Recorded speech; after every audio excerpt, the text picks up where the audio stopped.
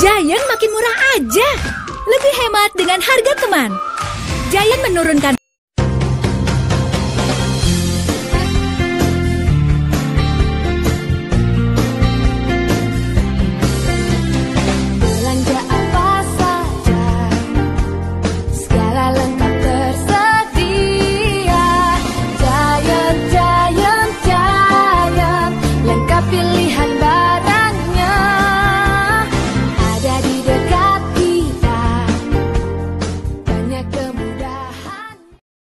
I don't give a damn.